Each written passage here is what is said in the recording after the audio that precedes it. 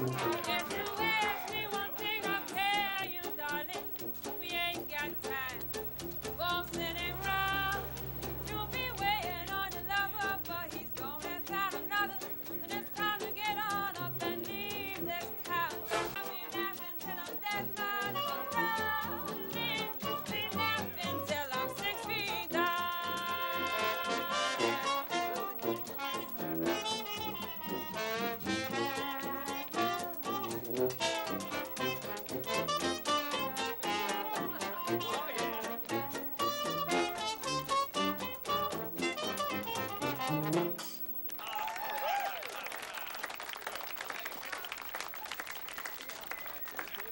appreciate it. Not at all.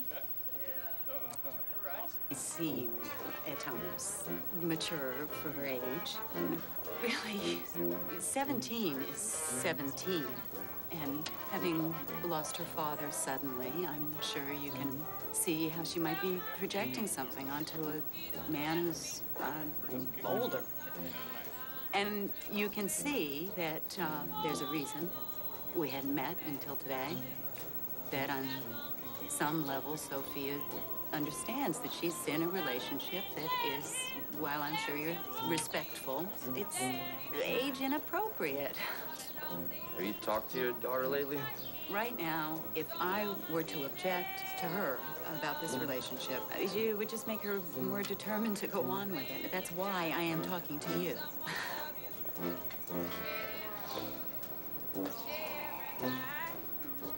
I think you and Soph should talk, maybe.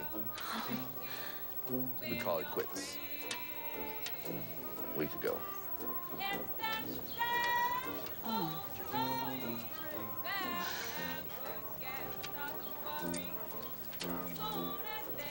Yeah, she broke up with me.